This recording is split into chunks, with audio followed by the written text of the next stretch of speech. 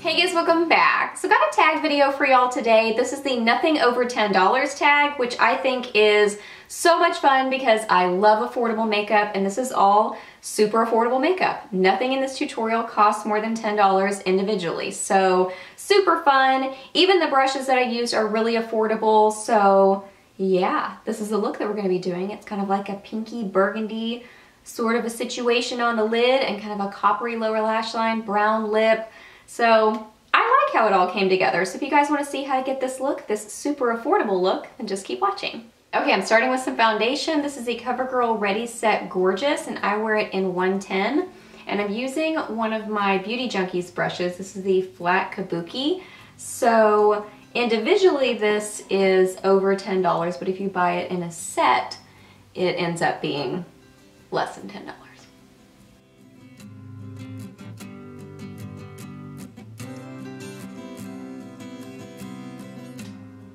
Now I'm gonna put on some eye primer and let that set while I'm doing my brows. Today I'm using the Wet n Wild eyeshadow primer. I love this primer. I think it's just as good as anything high-end. For my brows, I'm gonna use my NYX Tame & Frame. I wear it in blonde, and I'm using a Beauty Junkees Pro Precision Eyeliner, but it works for brows too, you know, whatever kind of brush. Again, this one is part of a set, so it ends up being less than $10 if you figure up how much each of the things are. Blah, blah, blah. You know what I'm saying.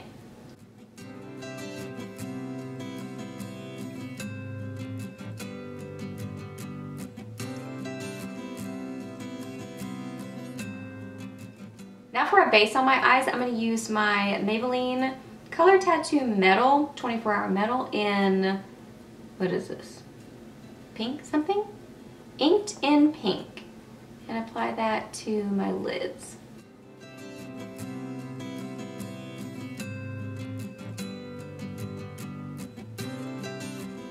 Starting on my eyes, I'm going to use a bronzer in my crease. This is the NYC Smooth Skin Bronzing Face Powder and I'm using a Beauty Junkees Pro Blending Brush for this and I'm just applying this right into my crease and transition area.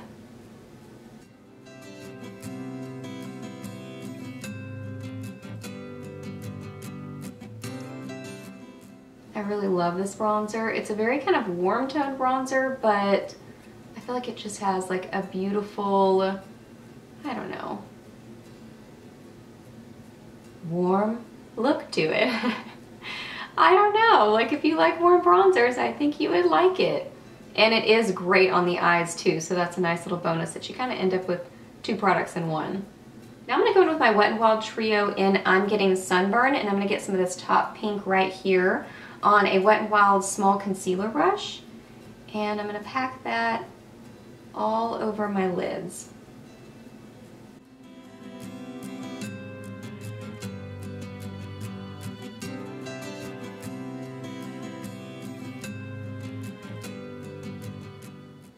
This other Wet n Wild Trio in Knock on Wood and I'm gonna get some of this kind of like burgundy sort of shade here at the bottom and apply that into my outer corner kind of blend that over into my crease a little bit. And I'm using a Beauty 360 brush. This I got at I think CVS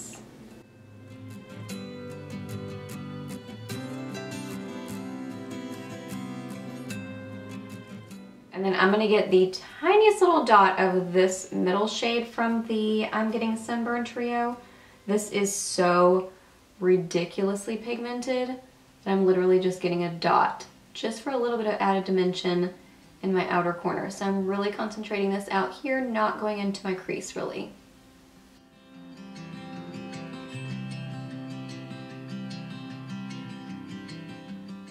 For my liner on my upper lash line, I am going to take that really dark shade and just put that right into my lash line. I'm using the same brush I used on my brows, but I just kind of cleaned it off a little bit.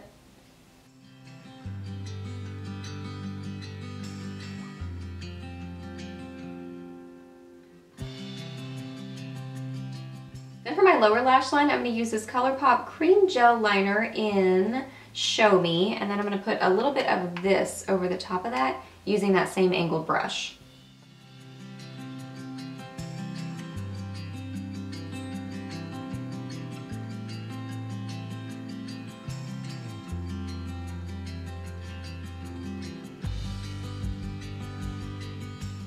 And I'm gonna curl my lashes and apply some mascara. Today I'm using the CoverGirl The Supersizer.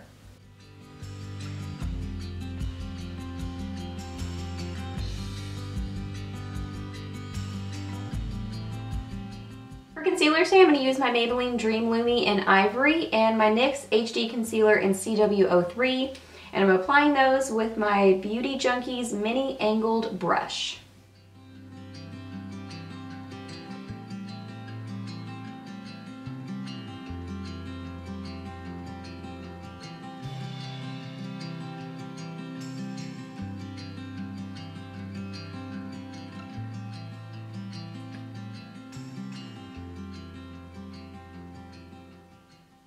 Usually my last step of concealer, whether it's my MAC Pro Longwear or whatever, I like to typically dab it on. I don't know why, but I just do. I feel like I get a little bit more um,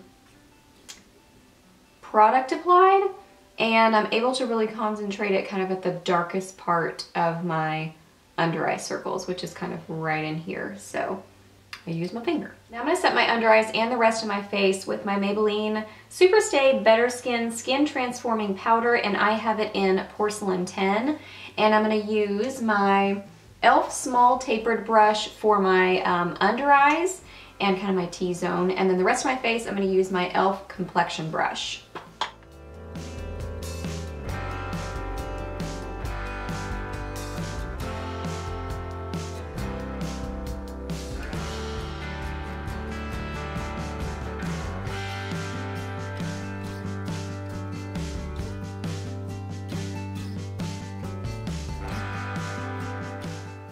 Also going to use some of this as my kind of brow bone highlight and I'm just using a Stilazzi S124 brush.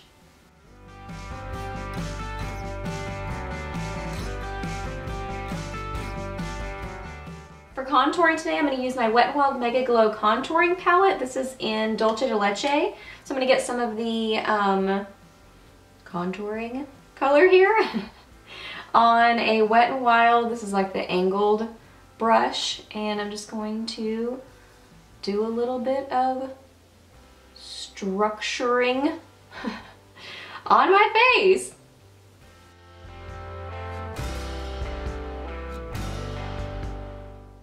I said structuring because I felt like I'd said the word contouring a little bit too much. So, I'm sure structuring is a really good synonym for contouring.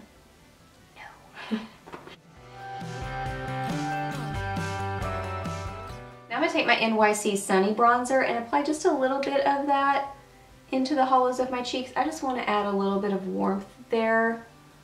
Not much, just a little tiny bit. For blush today, I'm gonna do a little combo of these two. This is the Wet n Wild Color Icon Blush in Rose Champagne and Apricot in the middle. So I'm gonna apply this with my e.l.f. blush brush. And I'm first gonna get some of Rose Champagne and apply that over most of my cheek. And then I'm just going to do a little pop of the other one kind of right on the apples of my cheeks.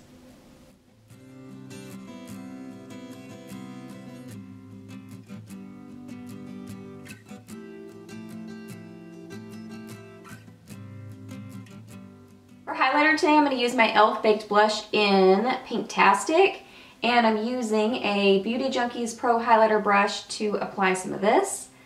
And I'm just going to apply it to the tops of my cheekbones. Cupid's bow.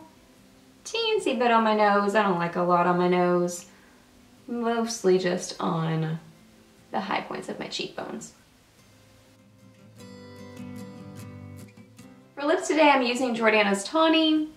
I know, I really don't do this on purpose, but this is just the one that works with this and my Kate lipstick, Rimmel Kate lipstick in number 47. This is one of the nude collection, which I love.